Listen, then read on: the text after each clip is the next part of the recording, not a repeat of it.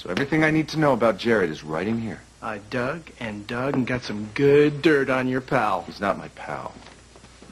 And I knew I was right about that guy. I knew it. I'm going to get Theresa the hell away from him before she makes a mistake she'll regret forever. Like, marry him? Don't, no, don't, don't even say something like that, all right?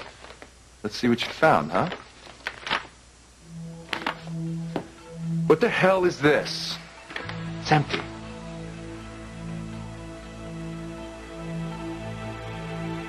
Well, what'd you want to ask me?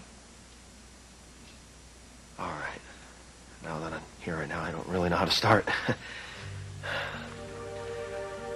um, well, never really talked to anyone about this before. And I didn't think I'd be this nervous. Um, you don't have to be nervous. You can, you know, ask me anything. It's okay. What is it? Is this some kind of joke?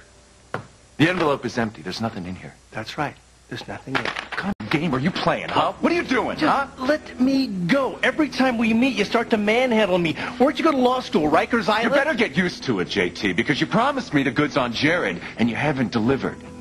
And what is going on, huh? Well, what are you going to do? You going to make me uh, sleep with the fishes? I mean, calm down. I did dig up the dirt on your friend. He's not my friend. Where is the dirt? I, we made a deal, remember? I find out about Jared, and you solve my problems with the IRS. Have you done that yet? It's in the works, well, okay? not good enough. Get on it.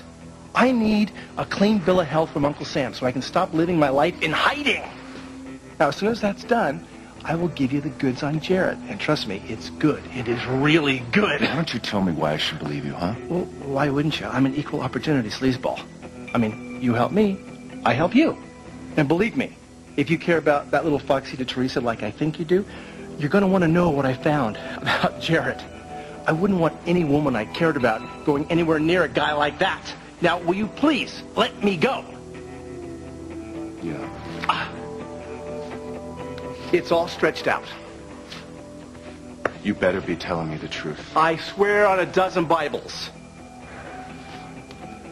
I knew Jared was up to no good. Yeah, you can bet on that. And tell the IRS I said so.